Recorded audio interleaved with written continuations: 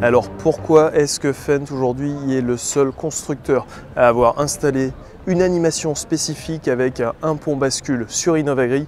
Tout simplement parce que les notions de répartition de charge, les notions de PTAC consécutives aux dernières évolutions de réglementation Mother Regulation ont des incidences et auront encore plus d'incidences dans les années à venir.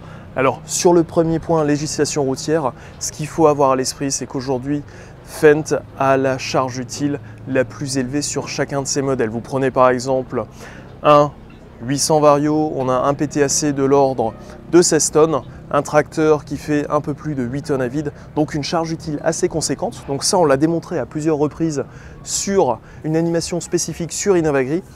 L'autre point aussi que l'on souhaitait mettre en exergue, c'est tout simplement la notion aussi de pression des pneumatiques. Par exemple, si on pèse le poids arrière du tracteur qui est ici sur ce pont bascule, s'il était avec l'outil Kirpi qui a été présenté tout à l'heure, on obtenait un poids de l'ordre de 14 tonnes. Alors 14 tonnes, c'est très bien. Par contre, ça nécessite sur route des pneumatiques gonflés aux alentours des 2 kg. En revanche, lorsqu'on arrive au champ et que l'on pèse l'outil, forcément le poids est moindre et en aucun cas, pour la préservation de la structure des sols, on ne se voit avec euh, une pression de 2 kg pour travailler. Là, on serait plus euh, généralement aux alentours des 1 kg.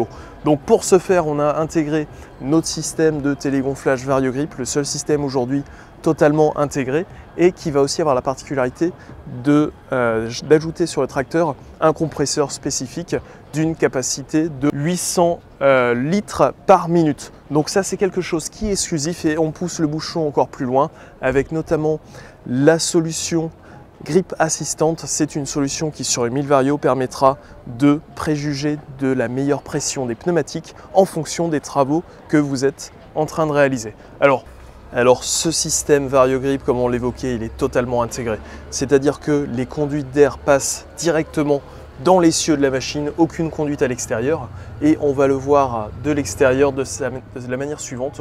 On va retrouver ici juste une petite conduite d'air qui va être le signal de pression et ici une conduite avec un diamètre un peu plus conséquent qui va permettre de gérer les flux d'air notamment pour regonfler le pneumatique. Ce pont bascule et les tracteurs que l'on a retrouvés dessus, ça nous a permis de faire de la pesée dynamique, de mettre en avant des points comme le PTAC, la répartition des charges et surtout l'objectif c'est de vulgariser pour toujours obtenir une utilisation bah, optimale de son tracteur et éviter d'avoir l'obligation d'utiliser, et excusez-moi le terme, des panzers dans les champs et d'avoir une répartition intelligente des masses pour vraiment tirer le meilleur parti du tracteur tout en conservant leur polyvalence.